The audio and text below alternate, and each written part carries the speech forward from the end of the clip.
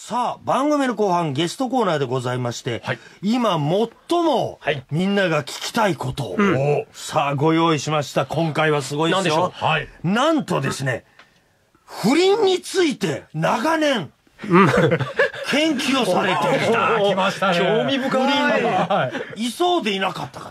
しかもちゃんとね、男、女、それぞれの視点から取材してこられていました。面白そうです。ジャーナリストのですね、亀山早苗さんです。よろしくお願いします。よろしくお願いしよろますしくお。願いします。ザ・ニュースペーパーと言われるグループ名は率直にごもちろんです。存知でした。実はファンです。いや、まあ、本当に、本当に、本当ですもうここからもう、振りの駆け引きが。ねえ、なるほどね。何今日4人のうち誰か選んでもらえるのかい？なんでさ、おじさん言葉なんなんだ？言葉巧みにこう。すごいですよ。亀山さんのはもう、この推進運動とかしてらっしゃるんですか？賛成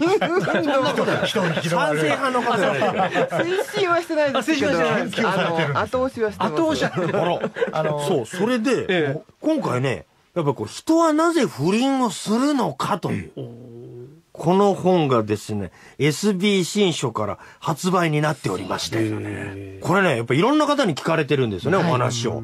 興味深かったのは、学者が誰一人不倫を否定しなかったことだ。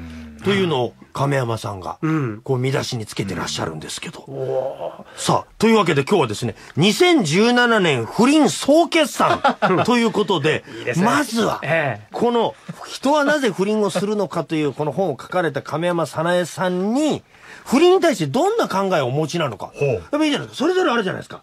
ただ、やっぱりこの専門に研究されてる方がどういう意見をお持ちなのか。プロの方ですからね。いやいや、ちょっと。不倫のプロじゃないですよ。不倫の研究のプロですよ。そうそうそうそう。あの、そう。行きましょう。それではジャーナリスト亀山早苗さんに聞きます。不倫についての10の質問スタート一つ目です。不倫は文化だと思いますか？はい。結婚と恋愛は違う？はい。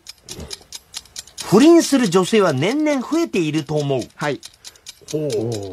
一夫一夫制は無理がある制度だと思いますか？はい。不倫はしないという結婚前の約束は信用してはいけない。はい。おー次の質問は、良い不倫と悪い不倫がある。はい。メディアの不倫バッシングは行き過ぎだと思う。はい。不倫問題と政治家の資質は切り離して考えるべきだ。はい。不倫は善悪で判断、判断できないはい。最後です。人は不倫をする生き物だ。はい。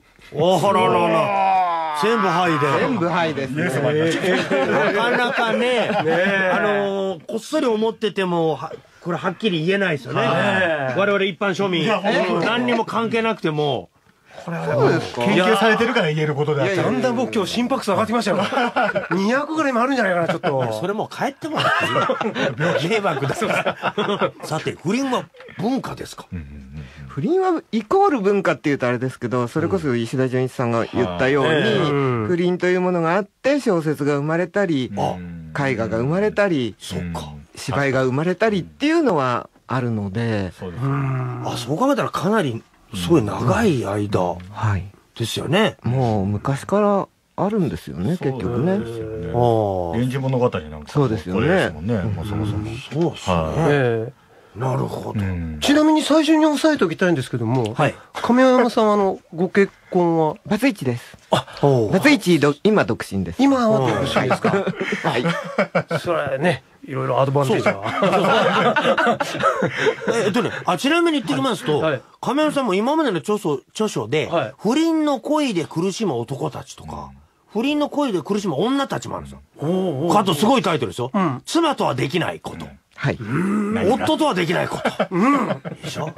男と女、セックスをめぐる5つの心理。ストレート。婚外恋愛。だからこういうふうにずっと書かれてるわけですから。結構こっちの分野にもう研究されて長いですよね。えそうですね。もう10 18年ぐらいですかね。そんな中で今回ははい、ちょっと趣向を変えて、はい。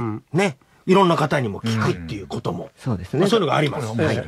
そういうのを踏まえた上でちょっとまた聞きますけど。ね、はい。これからやろうっていう人のあの入門編みたいな感じで押さえてもい。い。ですかはい、ちょっと、おじさん落ち着いてもらっていいです。か何を入門しようとしてる顔も赤いじゃないですか、最最初の一歩が一番大事です。最初の一歩がね。こう押さえとかないと。結婚と恋愛は違うっていうのが、また力強くはいでしたね。はい。よく違うっていうようなことは聞きますけど、あの、今の女性たちって多分みんなそう思ってると思います。あどういう、やっぱり、何が目安になるんですか？結婚っていうのは、じゃあ求めてるものが違うってことですよね？この結婚と恋愛に対して。あ怖いですね、そうやって聞くと。やっぱり一緒くたらなかなかできないですか？一応恋愛して結婚するんですけど、はい。うん。結婚するとその恋愛は死んでいくじゃないですか。恋愛感情なり、情熱なり。家。族にねえ。で、落ち着いて安定した家庭がやっぱり一番なので、はい。そうすると情熱みたいなものはなくなっていき、そうすると情熱はどこに発露を求めるべきかと。で、ひょいっと恋愛しちゃったりすると、両方ないといられなくなるっていうパターンが。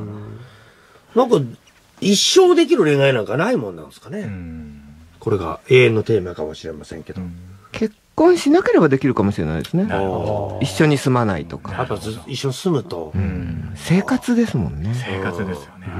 生活なんやっぱ不倫する女性年々やっぱ増えてる。増えてますね。明らかに。これはやっぱり知らなかったりするだけってのもあるわけですね。その旦那さんがこう。夫はね、ほぼ知らないですね。それデータの取りようがないですもんね。そうなんです。そうですよねそうなんです。うんただ実感として、あの、ホームページ経由でメールとかいただくんですけど、そういうのを見てると、もう明らかに、あの、既婚女性の不倫が増えてる。既既婚女性のはい。知らぬは旦那ばかりなり。ちょっと今日早引きさせていただいて帰っても、帰っても問題解決できない。今書いたら現場見ちゃうんですよ。やめた方がいい。そうそうそうそうって感じ変な時間帰んない方がいいよ。そうそうそうそう。これ会話なんだ。すみませんあの。じゃあ一夫一夫制無理がありますか？一夫一夫制あだけでうん。過ごすっていうのはちょっと無理がある。あじゃないですかね。日本が。うん。でも僕も、まあこれ後々ちょっと出てくるかも話かもしれませんけども、はい。やっぱ男は子孫を残さなきゃいけないから、僕例えばあの大奥みたいな姿は、本来の男の姿なんじゃないかなっていうふうに、ね、ね。思うんですよ、やっぱり。いや、ああ別にあなたのあんまり遺伝子欲しくないあれいるから。あ、そうですか。そう、将軍の。後継ぎとして残したいから。だからね、いろんな人とこう、やっぱり恋愛したいっていうのは自然のなんか男の本能のような気がするんですけどね。んでも相手がいるわけですよその理性で抑えなきゃいけね。ないみたつまり、いなところはそう。いう人は結婚するなっていうことなんですかね。そうですね。本来なならば。うん今の制度にね、乗っそ取るしたら。悪いことでもなんでもないいやですよね。、でもですよ、興味深いのが、良い不倫と悪い不倫があるって、こういう人なんですけど、ここ来たい。これどういうことですかえ私は別に善悪つけないですけど、んあの、某一流企業の人事部の人に聞いた話えで、はい会社から見ると、いい不倫と悪い不倫がある。会社からどういうどういうことでしょうで、あの、独身の女性で、まあ独身でも既婚でもいいんですけど、女性とやり手の上司みたいな組み合わせの場合は、はい会社って見て見ぬふりするんですよ。あ、特に女性とやり手の上司。なんかありそうなケースですね。で、そうすると女性がものすごく仕事を覚えるのが早くて、あどんどんどんどんこう進化していくので、会社としてはそれを黙って見てる。で、ある程度のところまで行ったら、その女性をポンとそ部署変えたり、海外出し、今海外出したりするので、あ、育つ。はい。で、速攻で男呼んで飛ばすぞって脅すのは、あの、仕事したくない OL と、うんダメダメな男うんの組み合わせ。なるほど。あ、じゃあ会社が生還してくれたら、自分は割と、そうです、そうです。でやり手、やり手になったと、役に立ってると。人事部ってそういう噂ってやっぱりすごい入ってくるらしくてはいえ会社としてね。会社として。会社としてね。じゃあ不倫も役に立つことがあると。はい会社のために。そうです、そうです。えーでもこの亀田のデータ的に過去見て、その不倫の末路ってはい。どうなっちゃうのがお多いんですか、この最終的にゴゴールなんてあるんですか？ゴール、不倫のカップルが別れるか、うんえー離婚をするするかか、続けるという手がありますね。あの三つあの、10年、20年続いてる不倫カップルって結構いるので、じゃある意味そっちの方が本当は良かったかもしれないってことですよね。それお互いそういう立場だからそういうふうの方がいいのか、そうです、そうです。そうだからきっと若い時に独身同士で出会っても結婚するかどうかもわからないし、ん。結婚したらまた別の人に目が行くかもしれないので。守るべきものがあった上で、お互いのその、あ、だから、火遊びっていうのはまた全然別っていうことなんですそうですね、そうです。すごい単語が飛び出しましたけど。あ、本当そうです。本当はいい、いい不倫はメリットが誰かにあるっていうことであって、うん許される不倫ってわけじゃないんですよね。誰かは傷つく可能誰性がある。が許すかという問題ですよね。誰かが一方では傷つく可能性があるわけじゃないですか。可能性としては。隠すれば。なんかよくみんな不倫の恋が発覚すると、なんか誰かを泣かせてまで、なんか恋していいことなんてないとか言うけど、それって独身の場合だって似たようなもんで、に独身で二股かけたって同じだし、確かに。なんかなんでそんなに誰かを泣かせるとか急に言うのかなっていうのがすごい不思議で。こうやってだからそれこそこの結婚という制度がそうだからっていうことですよね。接し正社員権問題だから無理がある制度だと思うでイエスだってことなん。ですね。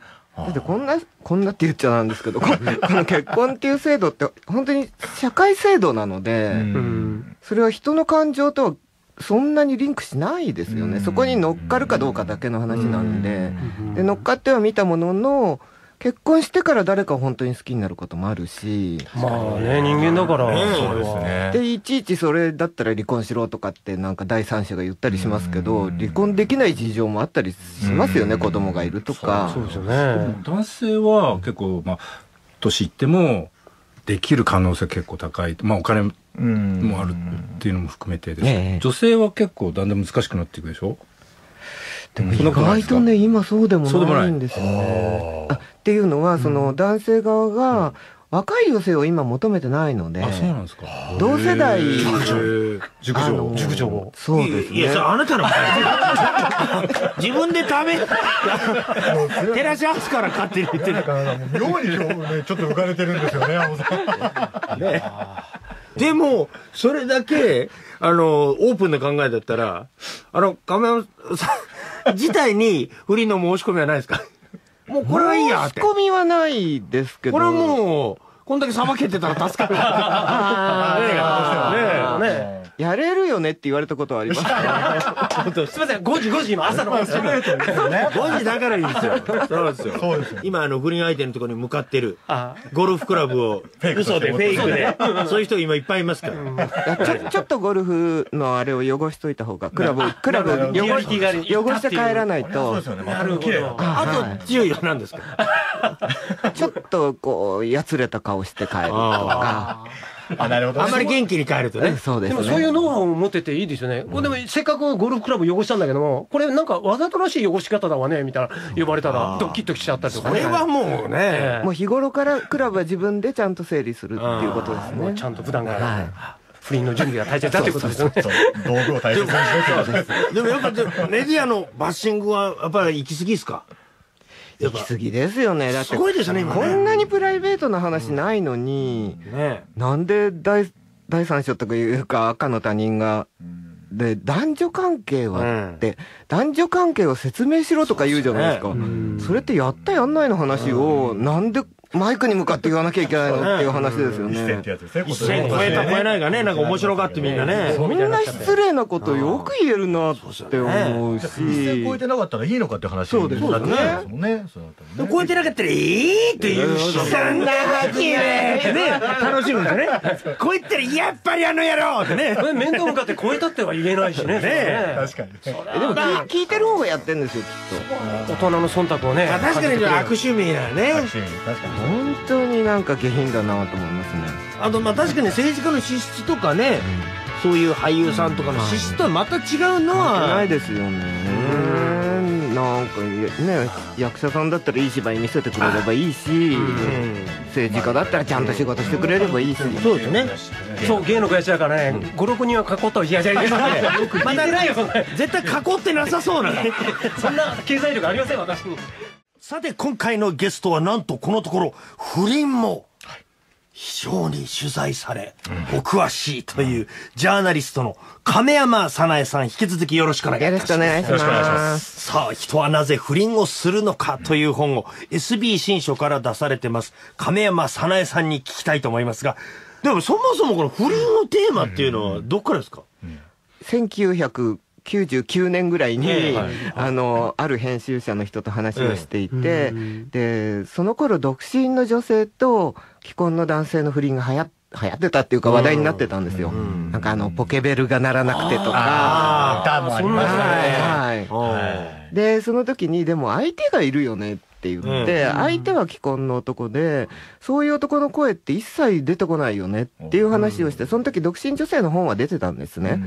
で、不倫の恋も恋なんだみたいな、そういう声を集めた本が出ていて、でも相手方の男の声は全く聞こえてこないので、そういう男に取材したら面白いじゃんとかって言ったら、編集者が、それだとかって言って、だけど、みんな話してくれなくて。そうでしょ だって怖い。そうですよね。それはね隠してるわけですからね。そうでしょえ。え、でもどうやって捕まえたんですか、それ？で私の知り合いにもいたわけですよ、はい友達にも、えっと、女の人と不倫してる男がいっぱいいたんですけど、断片的には聞いてたけど、はちょっとちゃんと話してくれないって言うとみんな逃げるわけですだっ。残っちゃいますもんね ね。そんな、いつもそれでネタにされて脅されるかわかんないじゃないでもですか。顔も出さないし名前も出さそうなんです、なければそうなんです。結局ね、1年間誰も話してくれなくて、でもうこれ無理かもしれないって言って、もうだん諦めるしかないのかなって落ち込んでるところに、もう友達がもうしょうがないから話してやるよって。へ言って話してくれて、もうそこからこう、ずっといろんなところで、不倫してる男を喋ってくれってずっと言っていたので、もう一人一人口説き落とし、え。それが本になったと。はい、最初はそれでしたね。貴重な本じゃないですかじゃあその頃まだ、今はね、男の人は結構喋りたがってくれるんですけど、え、でもその時聞いて、まあもうたくさんあるから、あげようがないと思いますけど、はいその意外だったことありますか？その話を、不倫男性の話を聞いて。それこそさっきおっしゃったみたいな、ひ火遊び系はもうカットしたんですね。おーあの、真面目に恋してる人。でまあ本人の申請ですけど。おで、聞いていったら、男も泣くんですよね。自分の恋を語りながら。それはやっぱり悲しくて、その状況とかにですか？選べない。選べない？家庭と彼女と選べない。そんな、はい。もうフィフティフィフティでも。まあ、旗で見てると笑っちゃうんですけど。まあ、酔って酔ってる、そうです。酔ってるだけでもそこまなので。来てるであ、。それ自分によってる。そうですそうです。あでも中には本当に自殺未遂する人とか、結構深刻な人もいるので、そういう人に話を聞いていくのは本当に興味、興ー味じゃあそ。